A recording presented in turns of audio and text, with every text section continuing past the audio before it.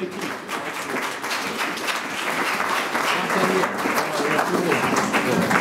right, so I'll wrap up the show here. Uh, we today are supporting 10 parks like Mirador and like DeMai. Uh, as you know, it does take takes funding, and I can promise you one thing is that all the money that we're raising is going straight to the projects that we're supporting.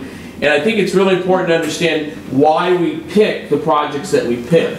Because there's a lot of parks out there in developing countries, they all need help, but money doesn't necessarily save things unless the things are right. I call it the stars aligning. You need great leadership. You need a great engineer on the ground. You need a great park director. We go, we sit around and look at 40 parks at a time, and the park directors they change every three years. And if you have a bad park director, you can't do anything. And so you you're a sit and wait position. Um, we're working in both marine parks, and in April we're going to have events uh, uh, on the, our marine protection where we use marine radars like boats use and protect marine areas with, with boats and rangers.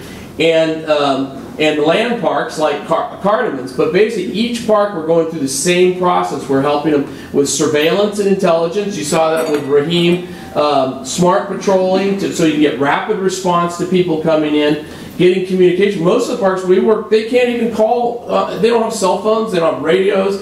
So we're trying to get them so that they actually can respond to things. Uh, and training equipment are critical, and it's direct protection. So you look at using satellites for identifying where there's fires and land clearing, so you can go get those guys. Using drones to go out, mostly to, to map uh, deforestation. Uh, using the sensors and the cameras to catch people one of our uh, projects, the biggest successes, we just got $6 million this just two months ago from Shell Oil. It's the largest funding ever by any polluter in the world. Uh, Exxon is a, is a $100 billion a year company. They give $16 million, 16 million out of 100 billion a year to help in uh, avoided deforestation. So little things here. So Cardamoms is, is the last piece of Cambodia that has forest left. They've lost everything. Everything's fractured and destroyed. The Cardamoms the last place left that has, they have 300 elephants,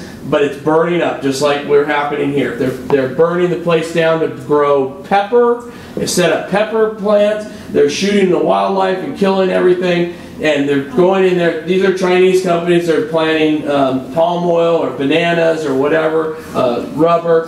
This is the type of deforestation that happens. They're so good at it. They can come in and with three months. That's that's probably one month of work.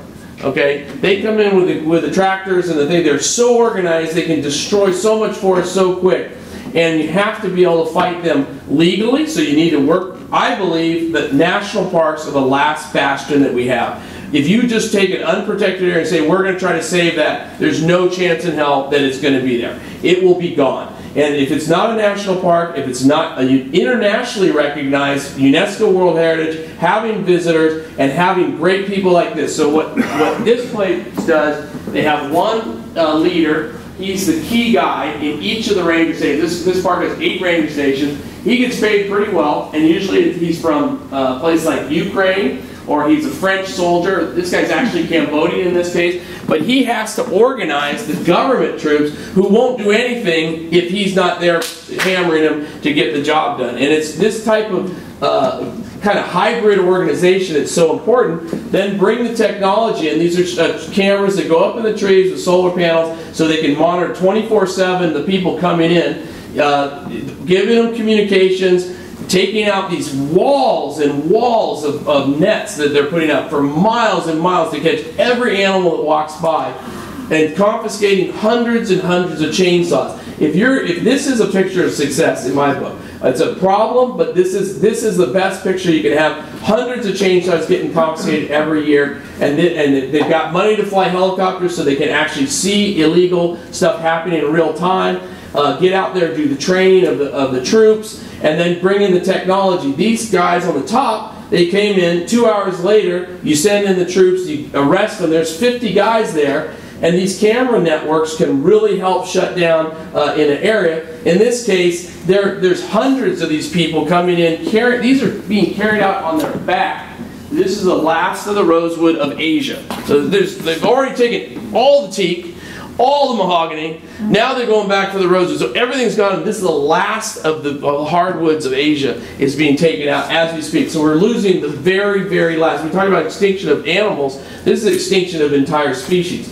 Using technology like Earth Ranger from uh, Paul Allen, who just passed last year, uh, put, his, put millions of dollars to develop software to run parks and do protection. So all the radio calls, all of the uh, uh, alerts from these cameras, and the uh, ranger reports all come in and can be seen. And now people are using satellites. There's amazing satellites. Uh, there's a company right down the street called Planet they put 200 satellites in orbit. They take a picture of the Earth every day down to about five meters. So from here to there, you got a picture of the Earth every day. So you can do amazing things to identify fires and forest loss in these parks. So you see these little red dots in these parks. You can send rangers right there that day that you see that there's loss. So that's very different. You saw the fires in Mirador. These are uh, NASA uh, alerts that come in daily that talk about uh, firing.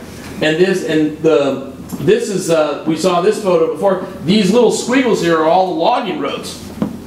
So how, that looks like uh, one of those cheese things. I mean, how can you the Swiss cheese? I mean, how can you protect a place that has thousands of roads? Anyone can ride a motorcycle in there and kill everything. So this is what Raheem is having to deal with in his work every day. Uh, very open. We've got great. If you ever met Greg Asner, you got it. You got to meet him. He's now transferred from Stanford. We lost him. He went to ASU, runs the Global Discovery. We're giving him hundreds of thousands of dollars to map our parks for their carbon, so we can get more of these six million dollar chunks of money for the protection of those parks.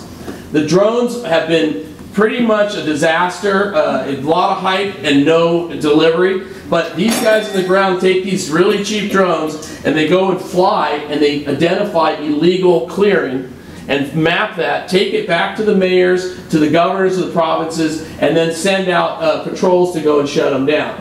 This is a great example. They flew the drone over. This, this is the uh, governor's son hired a bunch of things to go and drain this swamp, clear it to go put palm oil, palm oil in, and we shut him down and he's in jail. This tractor got confiscated and that's the kind of things that we can do if we, if we put the systems together with the right people. And we can save some of these animals and pristine places like this. So we hope uh, you'll all support the work that these guys are doing, that you'll come visit. Uh, we're trying to get organized so we can actually get out to these places safely and do go deep in and see the orangutans, see the elephants, uh, because that's the way that it really touches you and you'll never uh, stop saving these places. So but thank you very much for coming.